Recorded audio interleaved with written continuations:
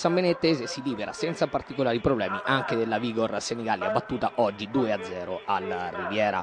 Il 2014 Rosso-Blu inizia con il saluto della curva Loris, tifoso della Samp scomparso per un male incurabile pochi giorni prima del nuovo anno. L'unico striscione esposto in tutta la gara al centro della curva nord senza i consueti vessilli e gruppi tifosi stringe simbolicamente tutti in un abbraccio alla sua famiglia archiviato il 2013 nel bilancio il calcio sanbenettese non può non pesare in maniera decisiva la marcata iscrizione in C di quest'estate, delusione troppo cosciente per i tifosi rossoblù nonostante che la squadra sia in D con Palladini da scorsa stagione che dopo il ritorno in eccellenza abbia collezionato in campo quasi solo successi. Continua così la marcia della Samba per il ritorno in Serie D allungando ancora sul Castelfidardo la giovane Vigor Senigallia di Alessandrini, invischiata nelle zone calde della classifica, ha messo in mostra anche oggi buone potenzialità, ma il divario tra le due formazioni è stato evidente per tutta la gara. Mosconi, senza Padovani indisponibile, non cambia nulla nel consueto 4-3-3 con Zuccheri in porta, Viti Amaranti esterni di difesa, Borghetti e Seiemame centrali, trio di centrocampo con Baldinini, Traini e Fedeli e tridente con Galli, Tozzi Borzoi e Piccioni. Sambi in campo con completo bianco con banda rosso-blu, la Vigor Senigallia infatti ha la divisa rosso-blu come la Samba, calzoncini e pantaloncini blu.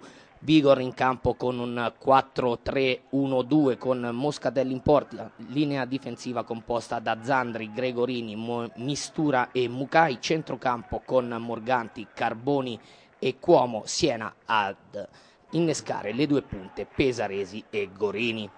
La Samb controlla il gioco sin dalle prime battute, ma la Vigor, ben coperta ed ordinata, si difende senza particolare affanni e la prima azione degna in nota proprio di marca ospite al decimo, rimessa laterale sulla sinistra e scambio veloce con Pesaresi che trova Carboni pronta alla battuta a rete.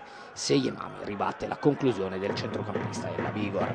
La Samb replica un minuto più tardi, cross dalla sinistra per Fedeli che a pochi passi dalla porta mette al lato i padroni di casa premono per scardinare la difesa della Vigor, ma nella prima parte di gara riescono solo a collezionare tiri alla bandierina. Al quindicesimo Tozzi Borsoi di testa manda sull'esterno della rete sugli sviluppi di uno di questi al diciassettesimo per la Vigor. Pesaresi trova un corridoio per entrare in area. Amaranti è provvidenziale nel contrastare il centravanti ospite al momento del tiro.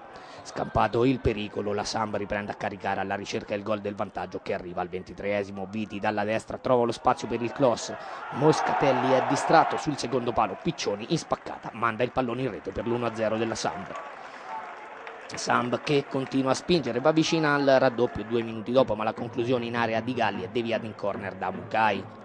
La Samb continua a rimanere padrona del campo e nonostante qualche decisione discutibile di Oriferi di fermo la Vigor non riesce a imbastire una reazione incisiva così al 38esimo la Sambenettese trova anche il raddoppio. Galli lavora un buon pallone sulla destra e serve Fedeli in area di rigore.